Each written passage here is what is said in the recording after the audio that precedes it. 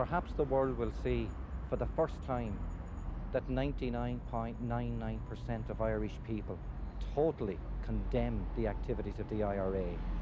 And Gorey would be a little microcosm of that feeling that exists throughout Ireland.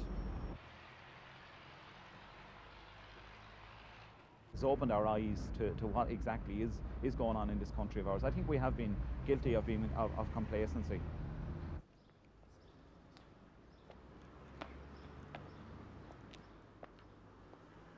I guess that, you know, a, young and 19 year old is obviously impressionable, uh, probably vulnerable too, because uh, you're pretty lonely, you feel fairly alone, you feel in a different culture going to a large city like London.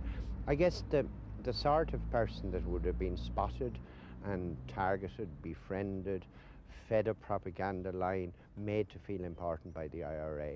I, I, say it was a classic case of a fairly ordinary kid being dragged into the to the sordid, depraved world of terrorism.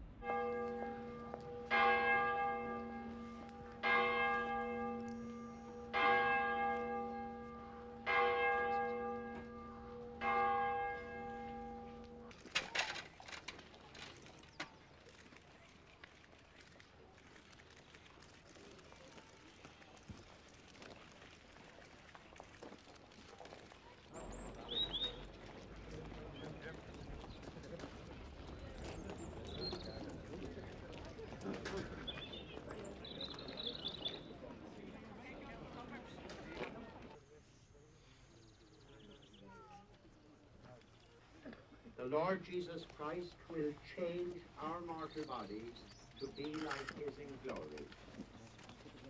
Let us commend our brother to the Lord. That the Lord our sorrow at the death of our brother. Let our faith be our consolation